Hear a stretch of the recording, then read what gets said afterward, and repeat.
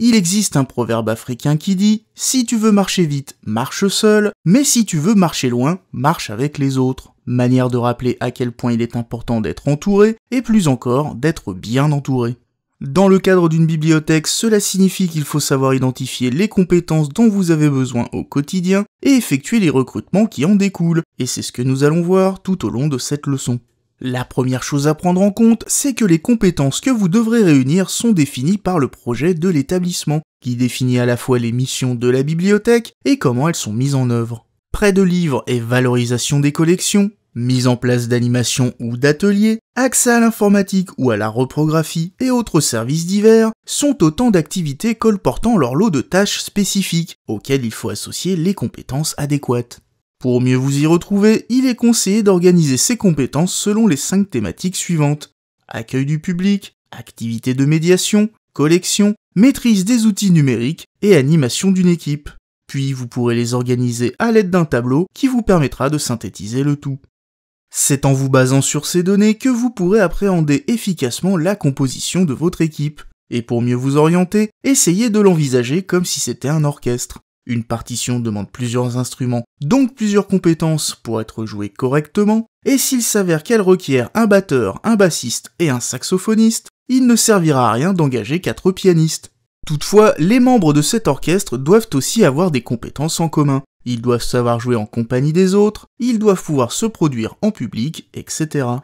Pour une équipe de bibliothécaires, c'est la même chose. Ils doivent partager des compétences communes, notamment en matière d'accueil du public et de mise en valeur des collections, mais ils doivent aussi présenter des compétences spécifiques à leur profil individuel. L'un d'eux peut être un grand lecteur, un autre un aficionado des nouvelles technologies, un autre sera doué pour la lecture en public, ou encore pour l'accueil des enfants en particulier.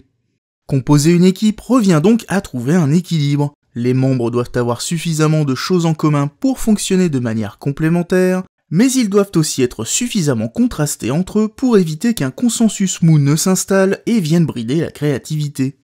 Maintenant que vous avez les outils pour bien définir les profils dont vous avez besoin, il est temps de passer au recrutement en lui-même, et la première chose à faire sera de rédiger un profil de poste organisé de la façon suivante. Tout d'abord, l'intitulé du poste à pourvoir et les missions prioritaires qui y sont attachées. Puis une présentation de la collectivité à intégrer, rédigée de manière positive mais sans faire l'impasse sur les défis à venir.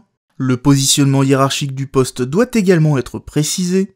Les missions spécifiques doivent être clairement énoncées, ainsi que les missions communes à tous les membres de l'équipe, sans oublier les missions transversales. Les compétences souhaitées doivent être listées, niveau d'études, expérience antérieure, maîtrise de savoir-faire, etc. Les conditions d'exercice et de rémunération doivent être détaillées également, nombre d'heures de travail, jours ouvrés, horaires spécifiques, etc. Enfin, il faudra inclure la liste des renseignements exigés pour déposer sa candidature, autrement dit l'adresse mail, le numéro de téléphone, la date limite d'envoi, etc. Il ne vous restera plus qu'à diffuser ce profil le plus largement possible sur des sites consacrés ou en vous aidant du bouche à oreille et à recevoir les candidats intéressés. Lors des entretiens que vous mettrez en place, il faudra veiller à être au moins deux personnes pour avoir deux perceptions des candidats, et il conviendra de ne pas négliger la préparation. Autrement dit, il va falloir être frais, disponible et attentif. Les critères de sélection devront prendre en compte la motivation du candidat, autrement dit la façon dont il s'est préparé à cet entretien. Demandez-lui par exemple s'il a déjà visité la bibliothèque ou consulté son site web. Il faudra vérifier bien sûr que ses compétences correspondent avec celles énoncées dans le profil. Il faudra juger de sa capacité à servir le public, à évoluer et à prendre des initiatives. Enfin, il faudra évaluer l'intérêt qu'il porte au sujet concerné, appétence pour les dernières technologies si le poste est en lien avec le numérique, ou avec la littérature pour enfants s'il concerne la section jeunesse.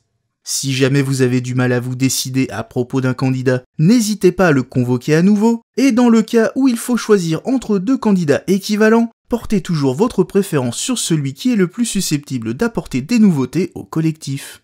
Notez bien que dans le cas où il s'agit de recruter un membre pour en remplacer un autre, il convient de ne pas simplement remplacer X par Y, mais bien de profiter de ce changement pour repenser l'émission du nouveau collègue. Autrement dit, tout recrutement constitue une opportunité de faire évoluer votre équipe. Cette leçon est désormais terminée et je vous donne rendez-vous dans la suite de ce chapitre où nous continuerons à étudier la construction et la valorisation des compétences au sein de votre équipe.